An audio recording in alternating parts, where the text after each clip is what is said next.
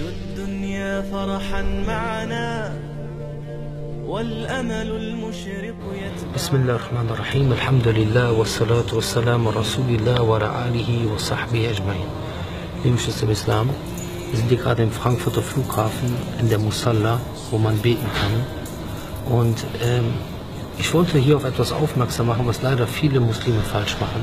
Es gibt einige Muslime, die denken, sie könnten abends alle Gebete zusammen beten. Aber wenn man ein Gebet absichtlich nicht in der Gebetszeit betet, dann hat man eine Sünde begangen. Und deswegen ist das falsch zu denken, man könnte einfach so, es wäre erlaubt für jemanden, einfach den ganzen Tag nicht zu beten und abends die Gebete zusammen zu beten. Allah sagt im Koran, Inna salate al-mu'minine kitaban mawquta. Das Gebet ist zu bestimmten Zeiten festgeschrieben. Und wir wissen, wir haben fünf Gebete am Tag. Nicht einmal fünf Gebete, sondern so fünf verschiedene Zeiten. Es gibt bestimmte Gründe, wann man die zusammen beten kann. Das heißt, das Dhuhr und das Asr-Gebet und das Maghrib und das Isha-Gebet in einem der beiden Zeiten zusammen beten. Ja? Da, wie zum Beispiel auf der Reise, Krankheit etc., Angst, wo, wo es bestimmte Gründe gibt, wo man die zusammen beten kann. Aber im Allgemeinen ist das nicht der Fall. Das heißt, man muss zumindest diese, die Gebete, selbst das Dhuhr und das das das Isha-Gebet in einer der beiden Zeiten beten. Und hier ist, äh, jeder kann sich einen Gebetplan runterladen und äh, es gibt es überall zu finden. Ihr könnt uns auch anschreiben, wir können den für eure, für eure Stadt geben, wo ihr wohnt. Ihr könnt euch das angucken. Es gibt verschiedene Apps, die ihr euch angucken könnt, wo, wo ihr seht, wann die Gebetszeit bei euch, ne, bei euch ist. Beziehungsweise selbst wenn ihr auf der Reise seid, seht ihr dann, wo in dem Ort, wo ihr seid, wann die Gebetszeit ist. Und Gebetszeit heißt im Islam nicht, aha, um 13.30 Uhr ist die Gebetszeit gekommen, dann musst du auch um 13.30 Uhr beten und wenn du um 13.35 Uhr betest, hast du es schon verpasst. Nein, das ist eine Gebetsspanne. Zum Beispiel, das Morgensgebet fängt an vom Morgengrauen bis zum Aufgang der Sonne.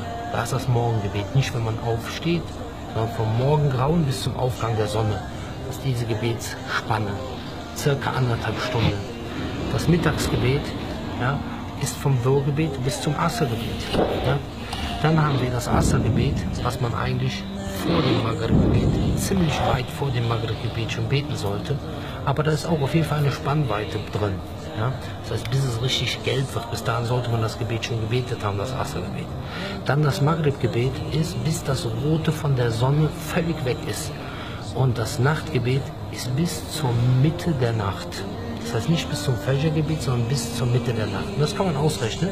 Die Nacht beginnt im islamischen Sinne mit dem Maghrib, mit dem Abendgebet, wenn die Sonne untergegangen ist.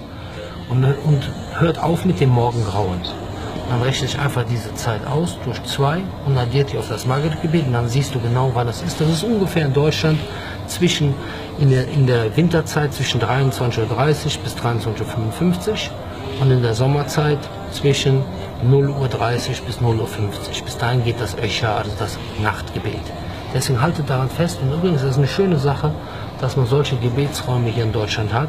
Da kann man auch mal Deutschland loben, weil wir kritisieren, wenn es was zu kritisieren gibt. Aber wenn es was Gutes gibt, dann geben wir das auch zu. Denn wir müssen als Muslime immer gerecht sein und differenziert sein.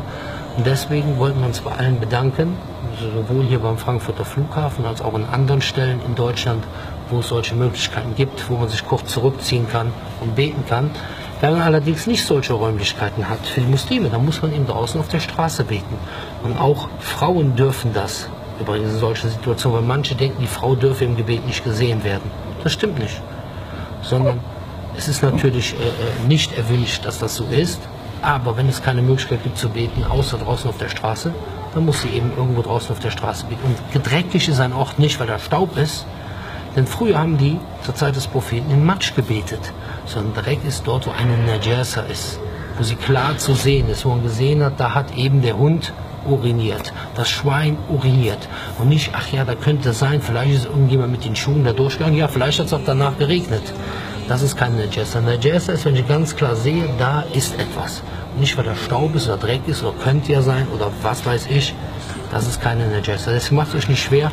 Dann gibt es auch noch die Möglichkeit, für, man, für manche ist die Gebetswaschung zu schwierig.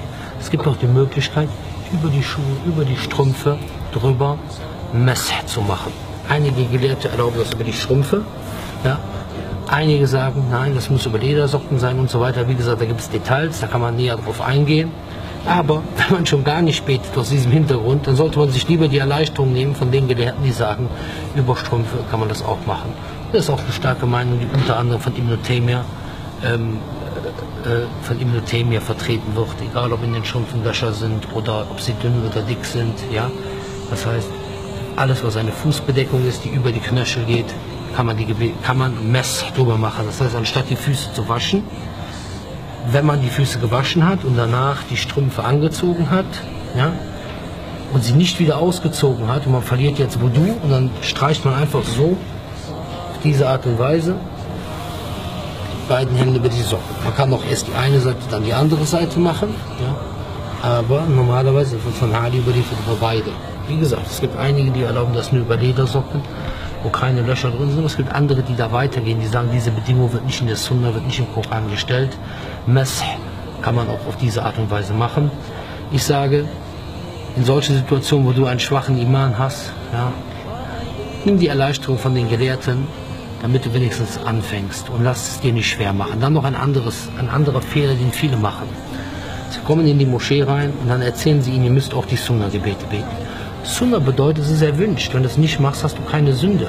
So. Und dann werden ihnen pro Tag so viele Sunna-Gebete auferlegt, und sie haben sowieso noch einen schwachen Iman. Das schaffen sie es gar nicht und dann hören sie nach zwei, drei Tagen wieder auf und beten gar nicht mehr.